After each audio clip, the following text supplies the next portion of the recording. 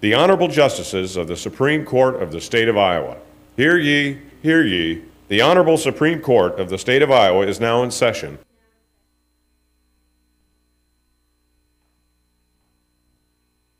Thank you. Please be seated. Good afternoon. Three cases will be submitted.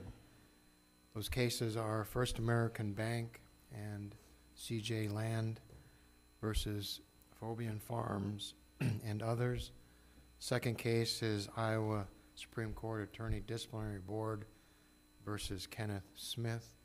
And the final case is Iowa Attorney Disciplinary Board uh, versus Jason Springer. The last two cases are now submitted to the court without oral argument and will proceed to hear the arguments in the First American Bank case. Mr. Geerdes.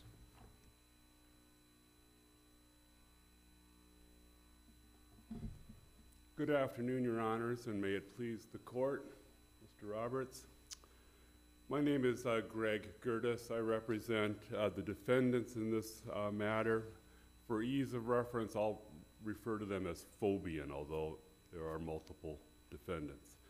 Uh, my clients were the defendants and ended up losing in a reformation case which was brought against them in a, uh, as the aftermath of a very complicated real estate transaction. In addition, they were sanctioned for the full amount of the plaintiff's legal expenses and uh, collection costs, which were approximately $140,000. There are a number of record facts that I want to call to your attention at the beginning of this argument because I think they reflect not only why we felt reformation was not appropriate, but which we also feel demonstrate why sanctions are not appropriate. First fact is that. I mean, aren't we at the point where law of the case is there going to be sanctions, but the issue is the amount? I, I don't I don't think that's the, the law of the case. I, I think that we certainly, uh, you certainly have the authority to look back over the entire case.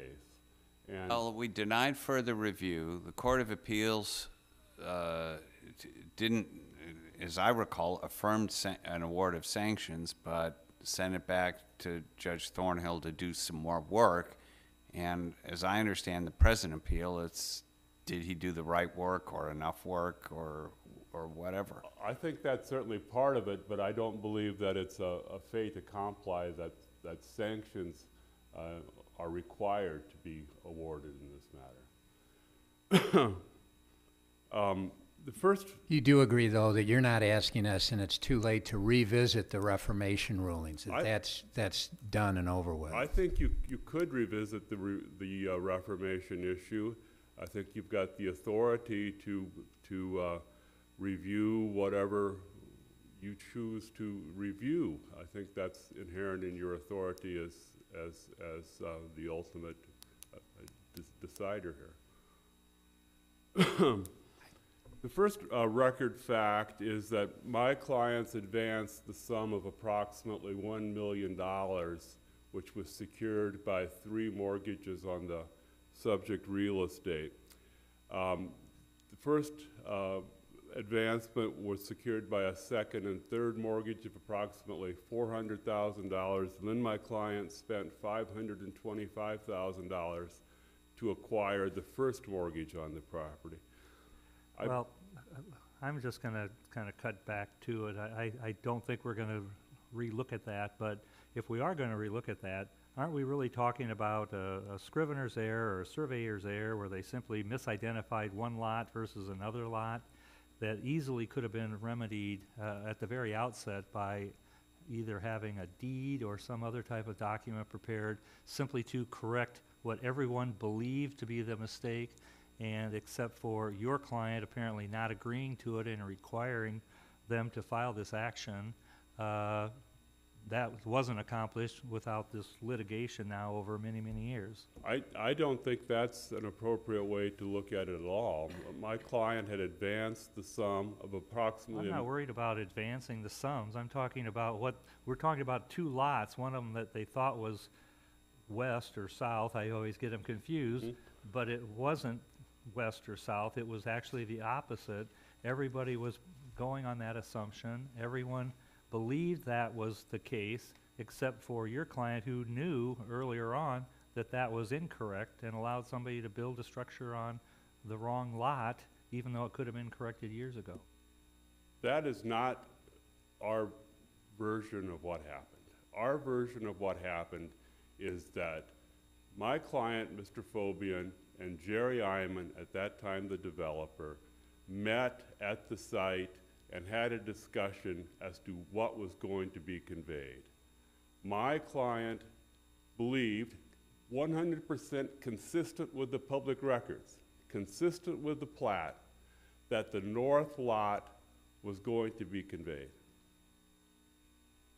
My clients had the claim of right based upon the public record. That's what the whole Reformation issue was about. And also, remember, my client later bought the first mortgage for another $525,000. So he had a very valid reason to defend this action. He had over a million dollars at stake. Well, I, I think the, the, the court has already ruled that wasn't the state of facts, and so I guess I'm gonna go along with what I believe to be the law of the case, which is in fact that the Reformation did take place, we do have the correct amount, and then the only thing really left was the encroachment of that building on, uh, a small encroachment on another lot, which is what you litigated as well. I think, I think it's important that we recognize the issue of sanctions should, is, is required to be determined based upon objective facts at the time of the filing. And here we are, three, four years later, but at the time of the filing, Carl Fobian defended the lawsuit because he had that much of a personal and corporate investment in the property. That's important because the view of the trial court was that his entire defense had no basis in fact and wasn't brought for a proper purpose. I think the fact that he was defending his collateral and that his collateral claim was consistent with the public records is reason itself to deny sanctions in this case. If um, you lose on that point, and we're now looking at the size of the sanction, whether the sanction award was excessive, what amount, uh, in your view, is sufficient to deter a non-lawyer party? Um, especially when a technical issue like this is involved. I, I think that the Court of Appeals, and this is on page 23 of their opinion, they ruled that the counterclaim that Carl filed was the sanctionable conduct. And the, um, the bank and CJ Land have not given us their calculation of what the costs are associated with just that filing. I've gone back and my calculation was that it could not exceed thirty-five hundred dollars because it was dismissed so promptly on summary judgment. And then to answer your point directly, underneath the authorities, including Judge, Justice Cady's law review article, the amount of sanctions cannot exceed the fees associated with responding to the improper conduct. Doesn't the rule say that? That, yeah, the rule. 1.413 says that, right? Yeah, the- that, All that, right, it's, so did Judge Thornhill follow the rule? no, no. All right, Judge- well, explain how he didn't. Uh, the main thing that Judge Thornhill did is he took the view that the defendants, from the very time that they filed an answer, were acting for an improper purpose. That's why he felt, and that's why he assessed the entire legal expenses against them. And that's contrary to the rule for two reasons. First, the general filing of an answer should not be subject to sanctions. And second, for what, for the reasons we were discussing earlier, there was a legitimate reason to defend against this Reformation claim.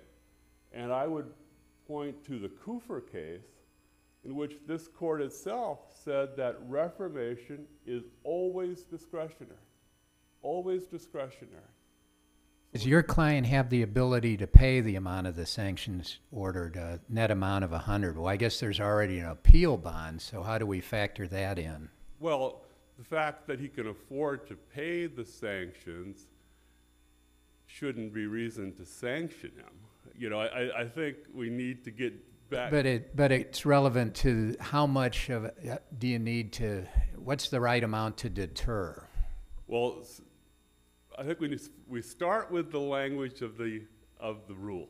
And the rule is, our cap is going to be the fees associated to dismissing or responding to the frivolous filing. So that's our cap. In this case, it's about thirty-five hundred dollars. And now you're asking a layman, how, how much is it necessary to sanction a layman for bringing a tortious interference with business advantage claim, which he's never heard of, and which the Iowa court is somewhat inconsistent with the restatement on? And, you know, a, a layman isn't even, even going to follow this discussion. So I think if you were to give a layman a sanction of five hundred dollars, that itself would be prudent for, for a typical layman. I think better in these circumstances would be to sanction the attorney who would presumably have more of the ability to, And that wasn't you, of course, but is that an option for us now? I don't know the answer to that question. I, I think as the Supreme Court, you can essentially do whatever it is you want to do. Uh, But Well, on, on that I note. don't think uh, that was ever asked for. Right. So here we have a, we're reviewing a, a six-figure sanction against non-lawyers. Mm-hmm. Uh, if we decide that's too much, mm-hmm. do we send it back for a third do-over, or do we come up with the amount we think is right? I would like you to come up with the amount that you think is, is appropriate, because if you don't do it that way, I think we'll have to see each other again. So, um, I'd also like to, Let me interject one more time. Um, what's the significance of this quiet title action has a, has a fee-shifting provision, which at the time of the conduct had a cap of forty dollars. Does that provide any comfort for your position? Well, I, th- I think it does, uh, and I, and I also think the legislature has later on changed that.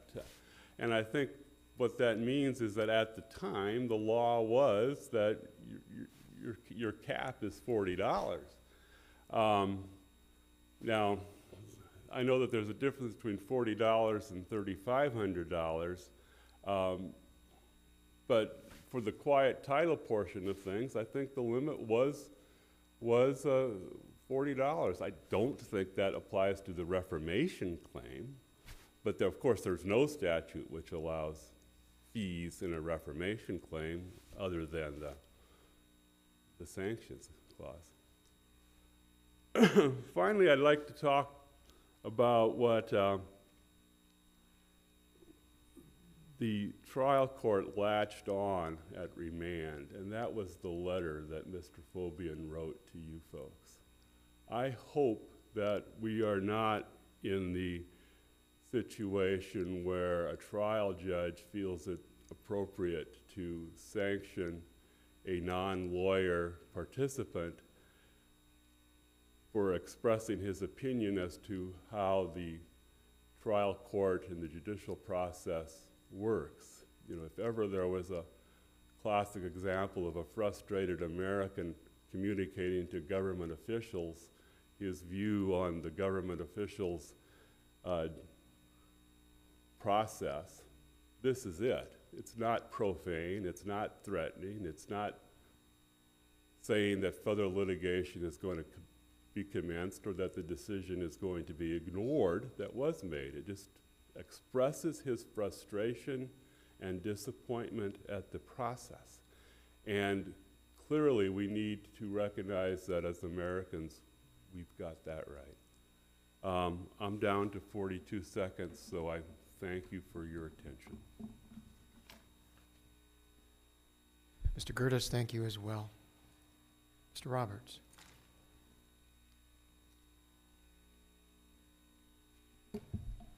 Thank you, Mr. Chief Justice. Uh, May it please the court and counsel, I'm Mark Roberts. I'm here on behalf of CJ Land and First American Bank. I'd like to get an accurate look at the conduct that's actually being sanctioned here. If you, if you go back to the answer that was filed in this case, as it became clear at trial, there were a lot of facts that Mr. Fobian clearly knew at the time he filed his answer. He had signed a partial release to allow a restaurant to be built by my clients, free and clear of his mortgage. Mr. Fobian had no interest in that restaurant. Mr. Fobian either watched that restaurant be built, and he made All right, uh, and let's assume that it's a given that that answer was sanctionable. How do you get all of the fees for all the work you did up to and including the filing of the petition? It seems to me the rule does not allow that. I- I understand the argument that's made about what the rule says, and it has to arise out of or be caused by the filing. Um, I think if you look at the particular, particular nature of a quiet title action, Mr. Fobian would like to say, I never made a claim, this is all about a defense. First of all, I think an answer can be sanctionable as well as, as a petition. Right, I understand that, but so then, then we're down to what fees were caused by, and expenses were caused to you and your clients, or, you know, whatever, by the answer. But how do you recover, because I know the district court awarded all your fees, all, everything up into and including the filing of the petition, how do you get that? Um, in, in a quiet title action, by its very nature, you're talking about differing claims to a single piece of real estate. So Mr. Fobian can't say he is not asserting a claim to this real estate, although it only kind of came to fruition. What's sanctionable is not asserting a claim in an abstract sense. What's sanctionable is a piece of paper that you file with the district court. And they didn't file a piece of paper until they filed the answer. Everything before that is something else, right? I, I would agree that it's a stretch to award uh, uh, First American Bank and CJ Land, but for the argument I'm raising about the nature of the quiet title action.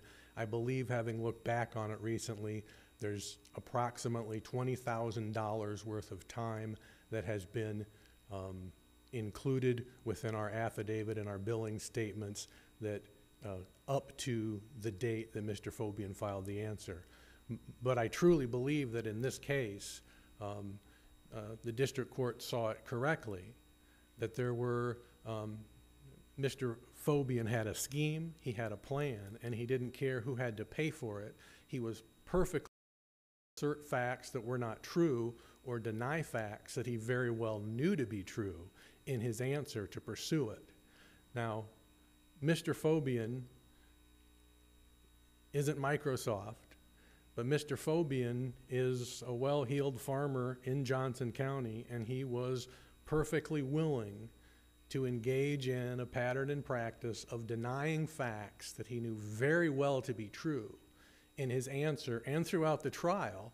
And I think what uh, uh, Judge Thornhill saw, based on his testimony and the testimony of his lawyer, was he was willing to tell multiple untruths in further of this furtherance of this scheme to try to pressure others into kowtowing and paying him something for a restaurant that he Well, didn't know. It sounds to me like you would agree, though, and basically concede that there may not be any basis under this, this rule that would allow you to be compensated for, let's say, the twenty thousand figure that you, the I'll call it the pre-answer expenses that may be here. But doesn't the rule or even the Court of Appeals remand also contemplate maybe more of a laser focus then on further uh, pleadings and, and actions that are sanctionable? I think the way that uh, Judge Thornhill saw the remand issue to him was he was supposed to look at the reasonableness of the fee, and I think he correctly followed the law in determining the reasonableness of the fee and the minimum amount that was needed to deter uh, the, the future conduct. Now, perhaps he read the, uh, the ruling of the Court of Appeals more narrowly than you would have him, but I think he did it, and that's the law of the case. Is that more than we, uh, even if you take the twenty thousand off the hundred thousand, we're at eighty thousand, is that more th- than the minimum sufficient to deter a non-lawyer? I really don't think so, and I don't think this is a case that necessarily should be pushed off on the lawyer because the lawyer doesn't necessarily know what the underlying facts are when he's filing an answer or, you know, asserting an affirmative defense or what it is. He has to rely on his client, and it was clearly Mr. Fobian, who was behind the notion that the statements that were in our petition, that he was denying them regardless of what he knew to be true. I, I hear you saying that basically Mr. Fobian committed perjury. He did. Oh, Isn't, you know, do you punish someone with sanctions because they committed perjury? Isn't the sanction for perjury a criminal offense if the county attorney or other person uh, so decides? Judge refers it should be brought? I mean, you, you, you, it seems to me that you're trying to punish this guy um, um, above and beyond what would be reasonable under the factors in Barnhill and the ABA rule. I, I respectfully disagree with you, Your Honor, that we're attempting to punish him. And I, I don't believe that the, the sanctions that are awardable under one point four one three as an alternative to perjury, that it, the only punishment or the only, uh, recourse against someone who's willing to, uh, lie in an answer is to convince a county attorney to investigate the facts of a civil case, make a determination if they can prove beyond uh, a reasonable doubt and pursue perjury. I think that would make the job of, of attorneys and of the court much more difficult if that was the only recourse to, for, for litigants who are faced with uh, pleadings that are rife with denials of facts or assertions of facts that are clearly untrue. You know, in Rowedder, or the um, fees incurred defending the frivolous um, claims were over sixty thousand, yet our court affirmed a, a sanction set by the trial court of one thousand. And I think my dissent thought that was too low and thought ten thousand was more like it. Um, is, is that the ballpark we should be in? I don't think so. Looking back at Rowedder fairly recently, there was, you know, pretty good record there that the statements or arguments that made by counsel were made in, in, in good faith based on what they knew at the time, and there were other extenuating factors that made it um, advisable not to award the full amount of the fees incurred. I think this case is very different, given the, the scheme of Mr. Fobian uh, to try to um, leverage what was clearly a mistake into a restaurant. Uh, apart from subtracting the twenty thousand incurred before the answer and counterclaim, were there other filings that um, should be segregated out as not ca- uh, because of the, the frivolous claim? I mean, didn't he win some relief? I think anything that was caused by other defendants in this action, for example, the, the condominium association, uh, they were a necessary party to this, but, but for Mr. Fobian sort of pushing this scheme, their answers were basically uh, denials for lack of information, as you might expect from a condominium association. I guess I view the, uh, the filings and what the court did below as an acknowledgement that any other fees associated with these other things were de minimis, and they shouldn't be subtracted from the necessary amount to deter the conduct. Do you agree that the uh, uh, proof of an inability to pay is was Fobian's burden?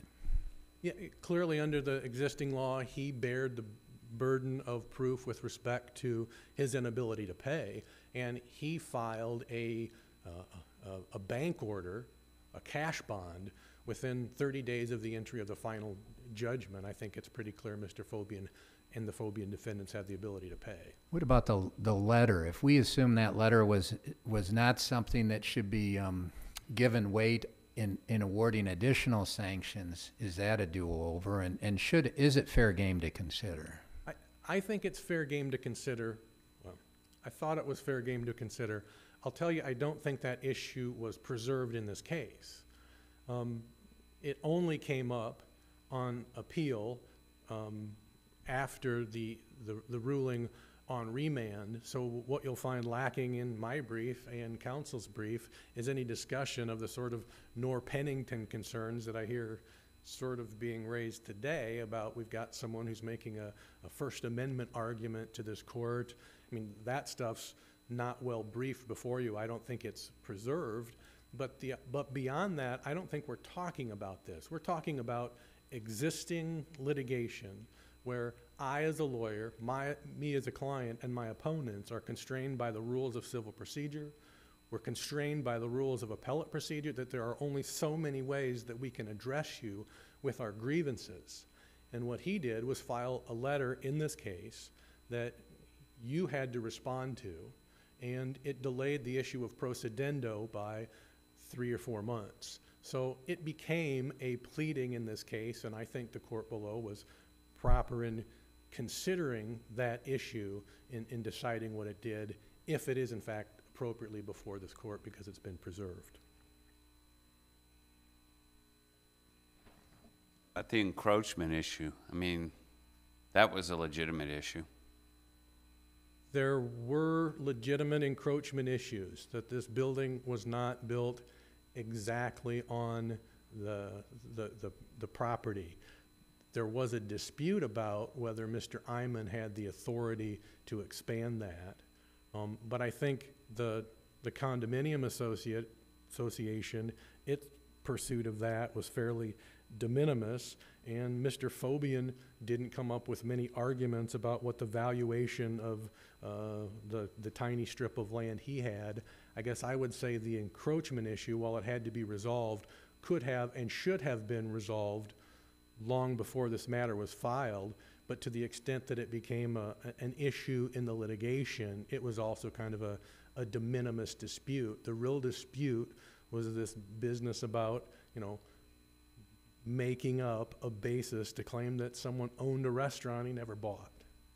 Is there a Counsel, gu- I haven't looked at your time records, but if we were to conclude that um, the uh, fees in relation to that, litigating that encroachment issue should not have been part of the sanction, are your um, uh, time records and filings adequate for us to figure out how much time you spent on that specific question?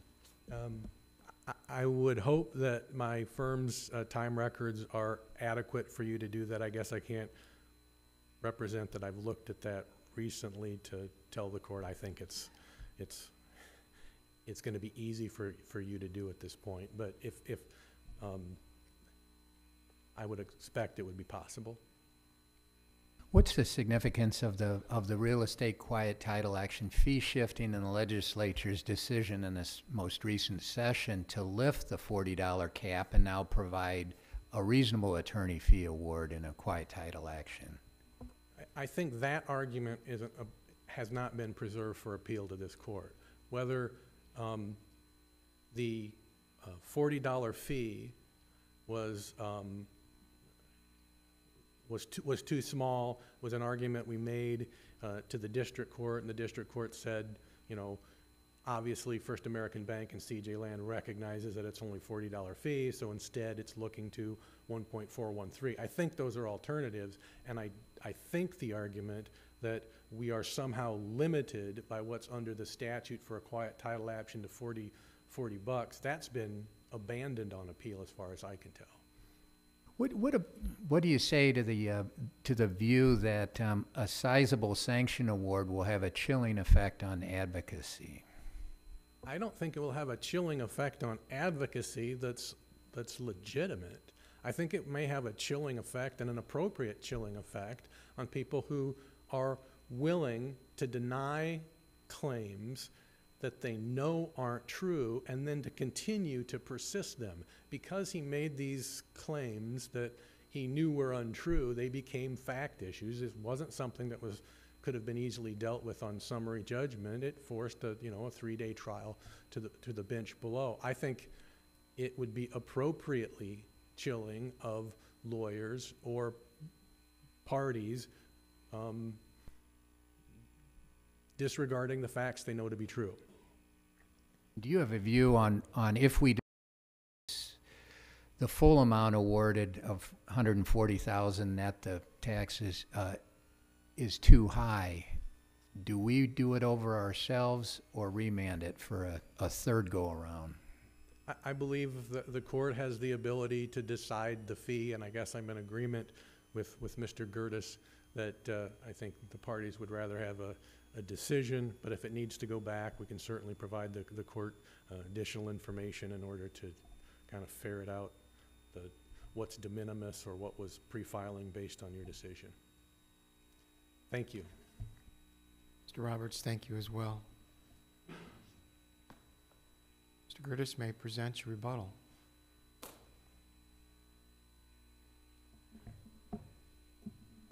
Frequently in negotiations, especially in business transactions and oral discussions, there are agreements and there are disagreements.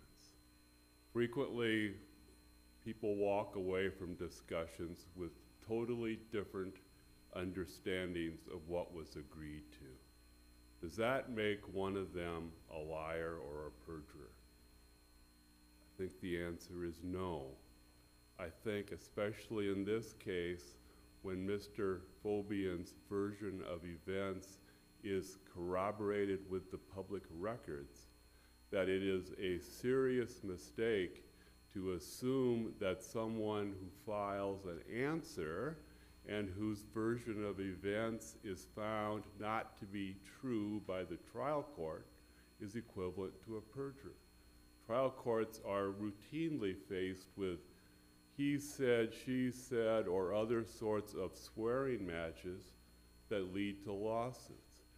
But here's the problem. I mean, it's kind of rich for your client to be making that argument. I mean, I'll say I'm not bothered by this letter. We get letters and I get phone calls, I get conversations. I'm in the phone book, I'm, I'm listed. Someone wants to talk to me, come at me. But the whole tenor of the letter is kind of that the fix is in and the, you know, you just, money pay, runs its way in the legal system. And it's kind of troublesome to then be, you know, making that argument, well, this was all good faith when, you know, you have your client directly accusing the court system of bad faith in, in I- this letter. I don't think he's accusing the court system of bad faith. I think what he is frustrated at is the fact that public records, especially deed land records, can be changed through reformation. And they take away his collateral. That is something that he has a hard time understanding and accepting. Well, but again, the, the trial court, and, you know, th- that is the law of the case, the trial court already determined that this was a, a mutual mistake as to what the description of the property was. And, uh, you know, I don't put a lot of stock in the fact that, well, we have a recorded deed, and we all, yeah, it's a recorded deed, and the records are down there, you can rely upon that, but if we all know it's wrong, and it's not correct, then I, I don't, I don't buy this argument that we can now rely upon that in good faith when I know in my head it's wrong. It's a, it's an incorrect legal description or an de- le- incorrect description of the lot which was transferred. But that's not what Carl testified to, and that was not his belief. Carl's belief. I'm not quite interested in what his testimony was or what his belief was, because I think the, the, the record, you know, the decision or the opinion of the, the district court was contrary to that. I, I understand that, but we're talking about sanctions here. And are you subject to sanctions just because your version of events is not accepted by the trial court. No, but you would be subject to sanctions if the trial court found that you knew better and that you were lying and that, that, uh, uh, although, although, um, you knew what the state of facts were, you were gonna dress up some testimony to try and evade your legal obligations. If the court found that, But, that would be sanctionable. but that's not what, that's not what the court, that's not what the court found, certainly not what. What did they find? Certainly not what the Court of Appeals said. What the Court of Appeals said is that the sanctionable conduct is the counterclaim and the third-party claim. That's on page twenty-three of their opinion. So that's where we need to put our focus, is what's, what's, the- what's the sanction amount for the dismissal of the counterclaim? How much, how much attorney fee time was spent on the encro- encroachment issue? If you were to uh, subtract that from the defendant's um, submissions, do you, do you know, or is that something we can figure out? Um, you know, I, I wasn't at the trial, but my, my impression is that the whole loca- the whole issue of where the buildings are located, that required surveyors, that required surveyors' testimony. I think that that's related to fifty percent of the entire trial, Much? fifty percent.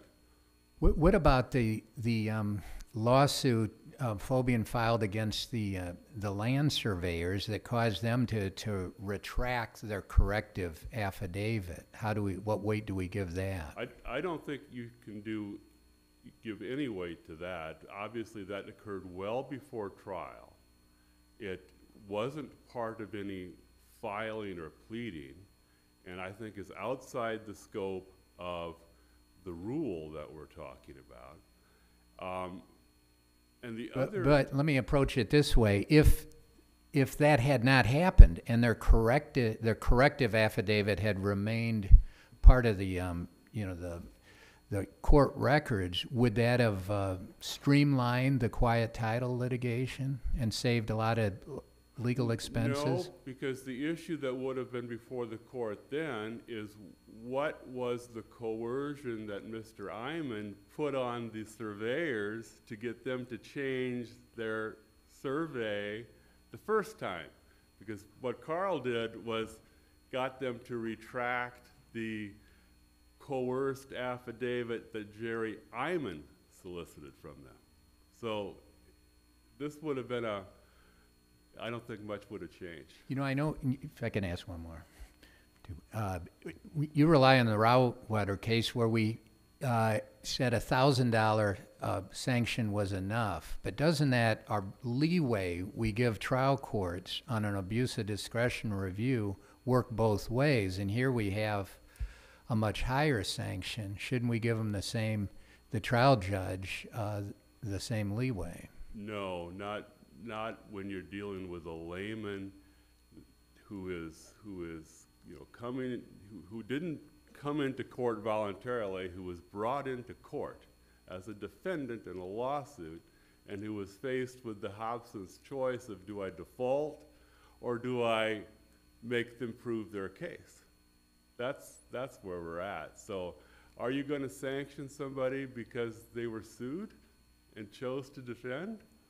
You know, I think the rules of being a defendant need to be different than the rules for bringing the, the institutor of a claim. And I, I of course realize that on the counterclaim, my client was the asserter of that claim. But for the rest of the case, he was the responder.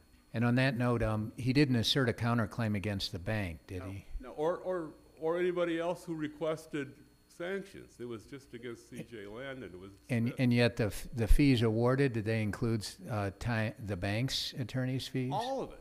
You know, the, the bank had one, one counsel, one who was co-counsel with, for CJ Land as well, and all of those, all of those fees got shifted to Carl. And how would, and, and are the bills capable of subtracting or allocating that or not really? That's really tough, and that's not, I don't fault Mr. Roberts for that, it's just, when you're in a trial representing two parties, that's the nature of, W- Wasn't the, uh, the first remand order, didn't it direct the, um, the district court to allocate? and that didn't happen. Correct. Okay. Um, Mr. Geerdes, let me uh, jump in with the question. Sure. Uh, Is it your position that Mr. Fobian would have had to have been found to committed perjury before he would be subject to sanctions because his answer was not grounded in fact? No, no. I think you can, I think a litigant is, or an attorney is properly sanctionable if the conduct is appropriately sanctionable without a finding of perjury. I don't think the rule makes any mention of that.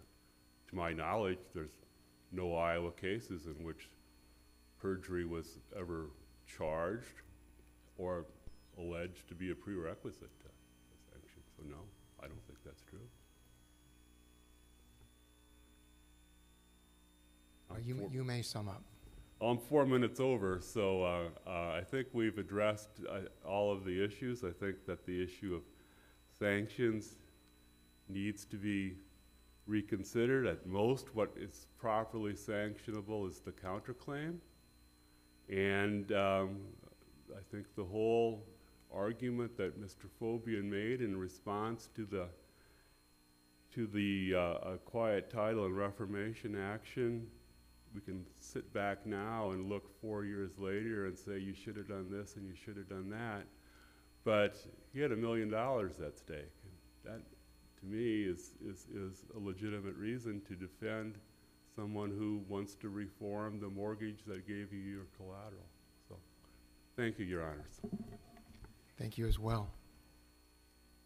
The Case of First American Bank versus Fobian Farms is now then submitted to the court, and the bailiff may adjourn. Hear ye, hear ye. The Honorable Supreme Court of the State of Iowa is now adjourned.